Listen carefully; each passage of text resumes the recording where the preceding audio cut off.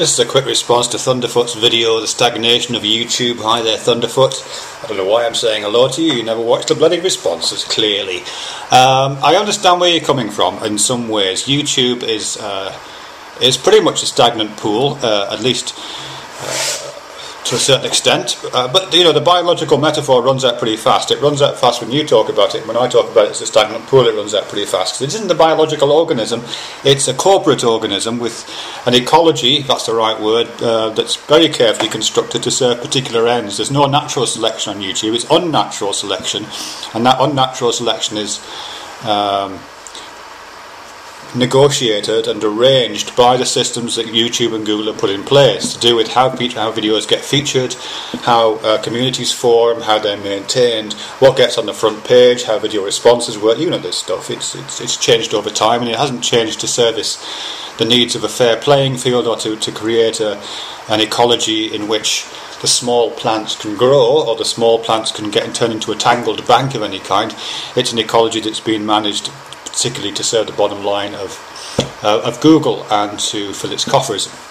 Which is fine, you know. So the whole process is it's not about fostering small channels or allowing communities. It's about putting customers in front of advertisers. That's the bottom line. That's the system that's driving this thing forward, and that's not a biological system. That's a corporate system. I don't have any problem with that, but let's not confuse the metaphor.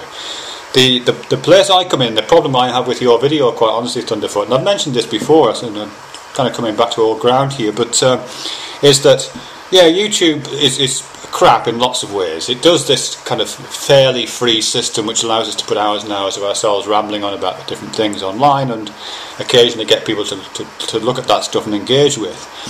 Um, but it doesn't do much else. Anything else that takes place online is down to the users. You know, we don't have an awful lot of control, but we have a lot more control than you're using right now.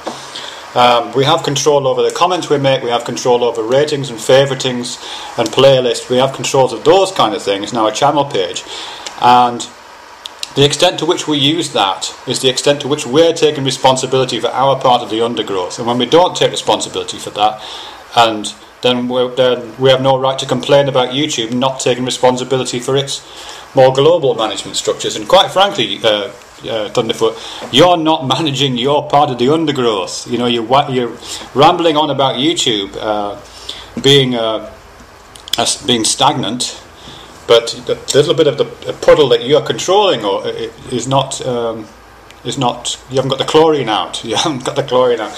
Nor have you put um, good growth And I suppose what I'm looking at here right now, I've got your page open in front of me here, Thunderfoot, this particular video, Stagnation of YouTube, and I'm looking at your video responses. You have 19 video responses.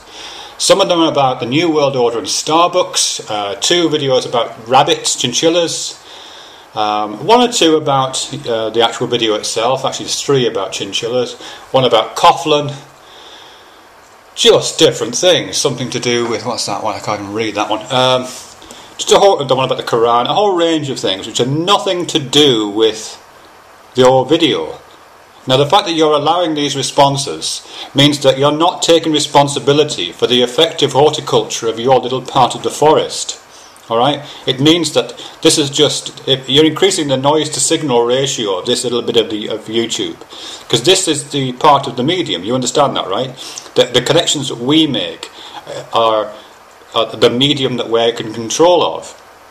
And when you neglect that, you're just letting weeds grow all over your forest floor and it's choking out effective stuff. Um, I mean, I could give other instances of how you're not taking responsibility for yourself either.